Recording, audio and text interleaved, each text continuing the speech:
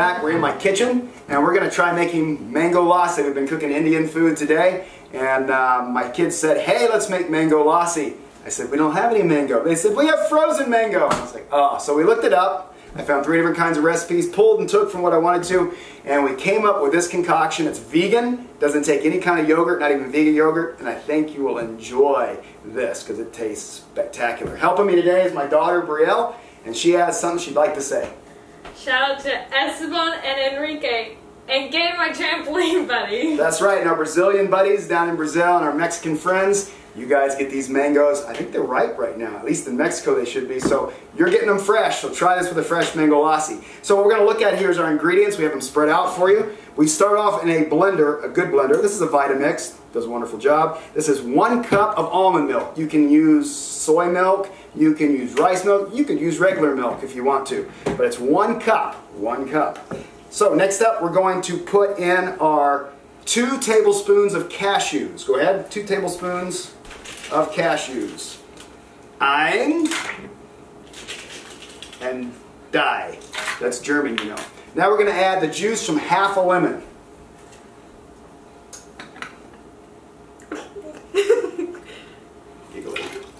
Ah, the lemon makes it really taste like it's got the yogurt in it. All right, now we're going to put in, and you can vary the amount of sugar you want. We're using maple syrup, which gave it a nice touch. It's three tablespoons of maple syrup. You can vary this. Um, we're going to try two with this one, but you can put three if you like. Go ahead. Fill each one up, and if you pour a little extra in there, it probably won't hurt anything. Uno. Dos.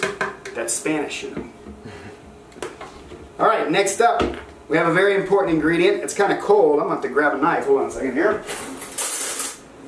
Knife. This is coconut milk that was in the freezer, refrigerator. And so let's go ahead and put that in there. It's one third cup of coconut milk. This helps it be creamy, adds, and this is full fat coconut. It's considered full fat. It only has, I think it was 12 grams of fat per serving in the can. So that's good there. You can use the 17 grammer if you want. If you want to make it light, light you can just use the light. It has 5 grams. There's varying different amounts. So we're going to now add our mango. It's one heaping cup of mango. Go ahead. And then I like to add a couple extra. Just because I like mango. And we're going to follow that up with a pinch, literally a pinch of salt. Just a pinch in there and a little bit of ground coriander. This is just like a dash of ground coriander. And the last thing we're going to put in there is about a half a cup of ice. And then Brielle's going to stick it on the blender and we're going to have fun with that one.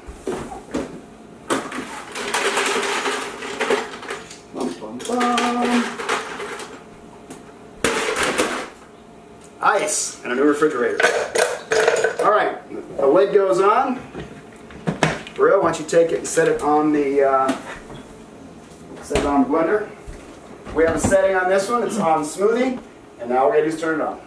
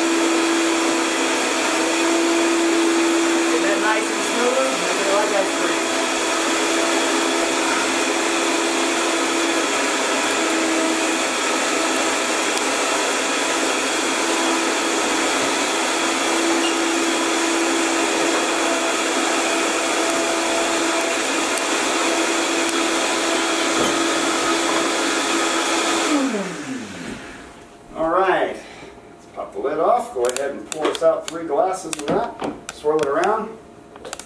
All right, see what this stuff looks like.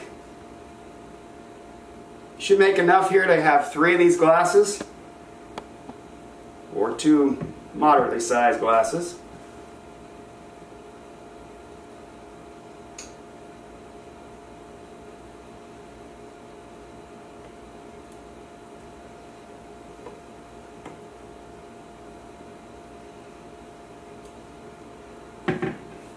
Right, let's see what we have.